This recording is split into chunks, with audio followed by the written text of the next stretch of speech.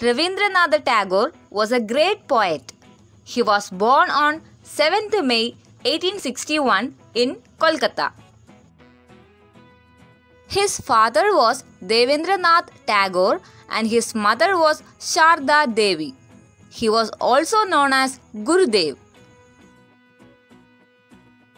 He wrote the national anthem Jan Gan Mana of our country. He received his Nobel Prize in the year 1913.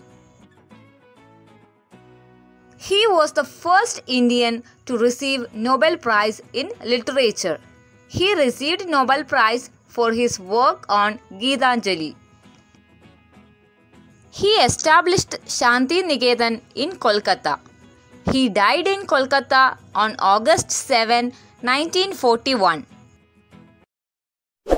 Subscribe for more videos.